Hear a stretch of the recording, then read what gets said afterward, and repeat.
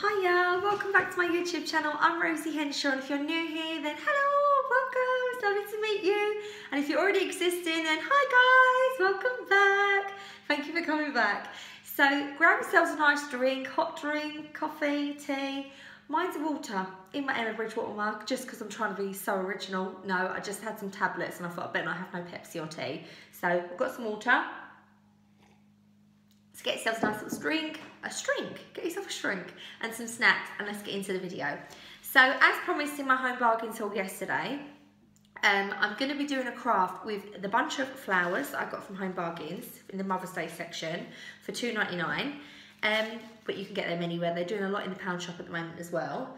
And also using the luxury um, car steering wheel cover um, for one ninety nine in Home Bargains. Now you can also get car steering wheel covers in loads of other shops, including the pound shop. Um, this one's a luxury one, so it's quite sturdy, and there's a reason why I'm not showing you it is because I've done a little bit of the hard work already. So what I'm going to be doing today is making a really rustic, so you could use this for a wedding or you could use it as a table centerpiece. I'm going to use mine as a wreath for the door, um, but rather than using my normal wreath, I will do that for Easter. I thought this would be a really nice little accompaniment either in Millie's bedroom, it looked really cute, and it's a really cheap way to make a wreath without having to buy a wreath to do it with. So I'm going to get my hot glue gun, I'm not making no sense, I'm going to get my hot glue gun ready, plugged in, nice and hot so the glue can start getting hot. And what I've done is, is I've got some twine that I got from the pound um, from the pound shop in the garden section, some twine, and I wrapped it all the way round my car steering wheel. Um, so I've left a little bit exposed so you can still see it definitely is that. So the leather car steering wheel, I've seen people try and do this with hula hoops and they tend to go, they tend to collapse because of the weight, like when you put things on them. Um, but I've just done it with this because I think it's like a really nice size. It's nice and large, but at the same time it's really sturdy. So I'm just going to get my scissors. I'm actually using Premier Blunt ones today. Get a little bit more jute cut. And I'm going to finish this little bit off just so you can see what I'm doing. I didn't want to do it completely in case you was just like, that isn't the car steering wheel. You're lying to us. That isn't the car steering wheel. You've, you've bought something so I'm just going to wrap them all together like that, cover up. What am I doing? I'll go that way. Continue with the, the direction. Bring them down, I can wrap that over it.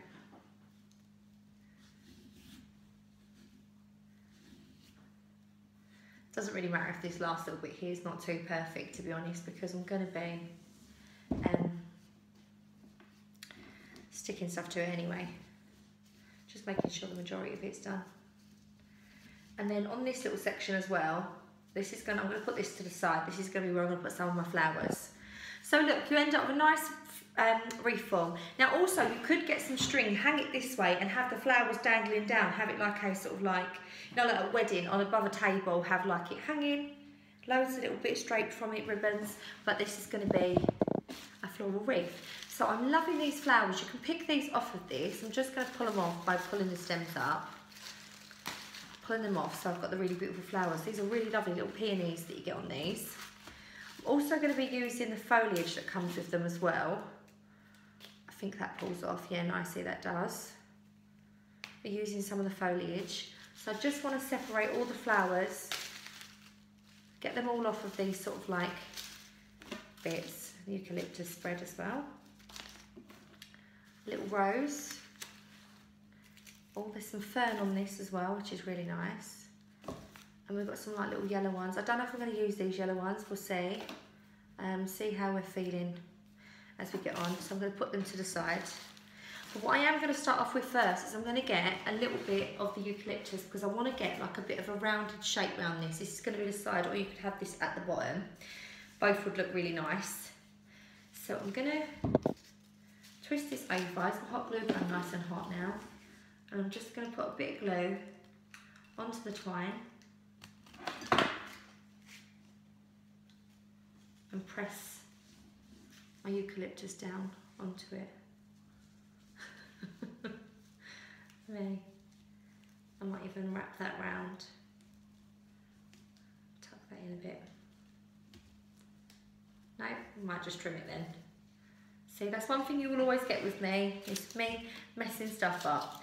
And then I'm going to get another one of the eucalyptuses, but I'm going to put it round about here at the bottom, going in the opposite direction. I'm just going to glue that onto it and press it in. Sort of going round. I might even add a little bit of extra glue as well and just sort of like press this bit down to keep it nice and flat. I quite like it when it sticks up from the, glue on that bit. I think where I was fiddling around with the, um, the metal wire. Hold it on till it's nice and set. Doesn't normally take that long. See? Press it on, it's not, it's not hot now. Oh, just a little bit there. Right, so we've got two little bits of wire, it's looking a bit shoddy and a little bit random. And then what I'm going to do is I'm going to get another piece of eucalyptus and bring it out even further, like adding it into this side here. So I'm going to add another little bit of glue. Got to put another glue stick in. You can get glue sticks and then glue guns. I was telling my friend, I have said it a few times on here, but she needed to get a new glue gun. And I was saying they do them in the pound shop and big packets of the glue sticks in the pound shop as well. So that's really good. And I'm going to stick that leaf from the other bunch on top of that just to disguise the glue. And then on this side, I think I'm going to add a couple of these stems that have come from the rose bunch. So I'm going to utilise all of these sort of stems and flowers and add them in. So I'm going to add on this side these leaves. They've got some really good bunches of flowers in there at the moment. And I just thought, when I see the cast steering wheel, I thought, how cute is that? It's literally 1.99 and that is going to be a perfect reef form for like a rustic kind of like reef. I'm going to put a little bit more glue on a reef and stick another set of the leaves on as well. Making sure the eucalyptus sits nicely on top. I'm going to really fill this out. And then to give it a little bit more symmetry, I'm going to add a few of the like rose leaves on top there. It's just sort of like filling it out at the bottom to get a really nice shape and I can't wait to hang this on my door. Also what's really nice about these is I bought some eggs from Home Bargains as well in my whole um, from yesterday. Really lovely bright eggs and in the Easter you can sort of like, in the Easter, when it is Easter you can sort of stick some of the eggs on this as well. So I'm just filling it up. I don't know I'm going to put the fern. I'm thinking perhaps like there. Fold that over. Have that round itself a bit. To get rid of that metal because my metal wire cutters they've gone dodgy as well. I think I need a little trip actually to Hobbycraft and the tool shop to get some of my tools going. Let's put some nice bit glue there and put my fern on top there. It's starting to come together like really bulking out, looking really lovely. So this is going to cost you a fiver. I mean, if you don't have the twine already, then obviously it's going to cost you to get the twine, which is another pound, but six pound. But you wouldn't be able to get a really beautiful spring reef like this anywhere for that price. Um, and I've also got some of these little stemmy bits. So I'm to keep gluing, bringing it down, filling out any little sparse areas need filling in making sure to try and put something similar on the opposite side because even though I don't want them exactly symmetrical, I want them to have a little bit of a flow. I want it to flow quite nicely. I'm also going to be showing you tomorrow, I'm doing an extra video tomorrow and I'm going to be showing everyone um, the boys bedroom update. So their new furniture, I'll put the links and stuff for the IKEA website, where they're from and stuff. None of it was gifted, we paid for it. Um, but there's some really, really lovely pieces. I don't know if I'm going to put that stem there to bulk that out underneath the roses. Yes, I am. I'm going to fill that bit up with another glue stick. I'm putting quite a bit of glue on. But how cute is that idea? Just a little, a little like um, cast steering wheel and you can make your own reefs. You could literally use this in the, in the winter, like when I done my bauble reef. You can make something like that, put baubles to it, anything really Add to it. Add little, little Easter bunnies, it look really, really cute. So now I'm gonna add the flowers. Now the flowers are really beautiful and I kind of want these peonies to be the showpiece of this. Um, so I'm thinking of putting these central, one slightly lower the and then the other one slightly higher. So what one's kind of smaller? This one looks a little bit smaller. So I think I'll stick that one there. Press it really hard, make sure it's stuck down nice. And then I'm gonna put the other one, move that leaf a bit, leave it out, and put that one there. Um, loads of glue there. Make sure I can stick it down. See a little bit of the, the twine, so I know it's gonna definitely get stuck down. And then stick that one down as well in place. Are you sticking? Yep, I think we are. Sticking down. Also, I think this might be the time to add a little bit of yellow. I think that yellow, these little yellow stems would look quite nice. I'm not going to add tons of these actually, just a couple. So I'm going to move that leaf, put a little bit of glue in, and just shove one of these ones into the glue and press it down, just to add a little bit of yellow. And do that on the opposite side as well.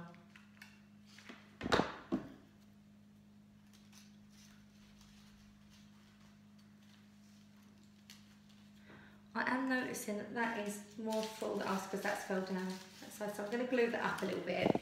So just use one of the leaves and glue this and glue it down so it sticks and stays on so that you get the real nice look of it being quite boho. You could hang loads of lovely ribbons from this, have these as, as wedding pieces, look really, really pretty.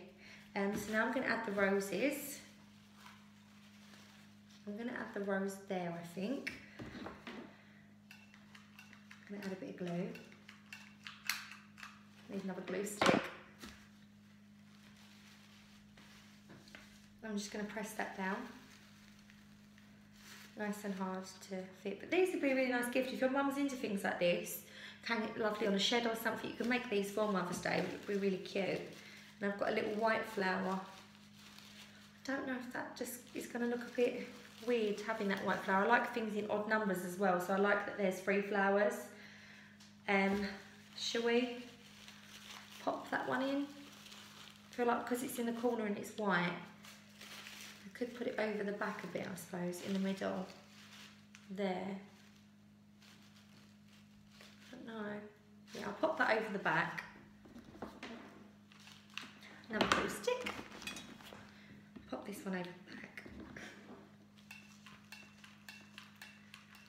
See what this one looks like. Like a little lotusy type flower. Yeah, that looks quite nice because when that's lifted up on the leaf and hung on the door, that will look really, really sweet. And then we've, all we've got left now from our bunch is like little twigs and a few more little pieces of yellow. So I think I might add, no, do you know what? I think it looks quite nice without the yellow. I don't want to add too much on it. I'm to let that dry, kind of open that up a little bit. I think that looks really, really beautiful. And then last minute what I'm going to do is I'm just going to get a little bit of jute, put it out around the top, tie it off together. And obviously tying the, the jute around this was really simple. I just held on to this, tied it into a knot, and just as I was holding it, was just bringing it round, wrapping it nice and tightly round, didn't glue none of it down. What's this one? Going trim that. And there you go. A beautiful spring wreath to hang on the door and it's cost you £5 to make. So I just thought that was really, really cute and you can probably add more like sort of like bunches to this. You could fill this up completely. I know that Mrs. Hinch has got a really beautiful wreath on her door at the moment that looks absolutely stunning. It's really large, full of hydrangeas. This would be the same concept. You wouldn't even need to wrap this. You could just use a pool noodle or you could wrap it in ribbon, something cheaper that you're not, because you're not going to see it. Um, and then just add loads of these flowers So this is done a bottom half of this. So you could do a wreath this size with another bunch, so it cost you maybe £10 with a really full-on spring wreath to have on your door. But I just really love this. It's gonna look really beautiful. I'm gonna hang this on my front door and I just think it looks really, really sweet. So £5, car steering wheel, bunch of flowers from Home Bargains. So yeah, a really, really quick craft today because I feel like I've done so many videos this week and I've bombarded you too much. Um, but I am going to be doing more crafts next week. I've got a few Easter crafts coming up, which I'm really excited about. Um, tomorrow's video will be a little boy's bedroom update because Millie's chair is actually being delivered tomorrow. Long story, I will explain when we do um, an update with Millie's room. I'll also show you the rug that we bought from Ikea. It's in the living room in tomorrow's video. I'll show you a few little updates of what we've done. Um, but Millie's desk, we bought her, bought a desk from Ikea, it's same as the boys, but it's slightly smaller to fit in her little alcove that she's got. And then we bought a chair. The chair was beautiful, it was pink and it had like gold legs, it was a swivel chair. But I had no idea that it was 80 centimetres deep, so it was absolutely huge for our room. And because it had armrests, it wouldn't tuck under the desk and for such a tiny little box room it just was not fitting. So we've sent that back and we're having another chair being delivered out from Ikea a white swivelly one. So when that comes obviously I will show you that because at the minute she's just got a little stool under there so it isn't completely finished. So I'll show you the boys room I'll go have a little rumble through the drawers so I've a little organised I'll show you what I've got in the drawers and what's the new furniture they've got in there so an update with that and show the new rug in the living room. Um, so I'll show you that tomorrow's video because like I said in the video before I know some of you don't follow me on my Instagram and I show bits on my Instagram but then I sort of don't show them on here. So tomorrow's video is a bit of a random one but I'm just going to show you a couple of updates because if you've seen my home tour then you can see the update of the boys bedroom and because um, they've just got a bit bigger now, they've run out of space, you know, they needed some more storage in their bedroom. Bertie had chewed their Union Jack rug that they had, so I didn't want to spend loads of money on getting unnecessary things that I didn't have to get. So I thought IKEA is really reasonably priced stuff, get them some furniture, funk it up a little bit in there, and then perhaps give it a little paint. I didn't even need to give it paint in the end, it looked really nice on its own, the nice hoover, a little clean out and organised. So yeah, so I'll be showing you that tomorrow if you want to stick around and see that. Also Friday I'm bringing a try on haul and Saturday I've got a really exciting haul coming up. Um, I can't say what it is, but I can't wait for Saturday to come and that'll be uploaded. And um, yeah, so take care, have a lovely rest of your week. I've been Rosie Henshaw, bye!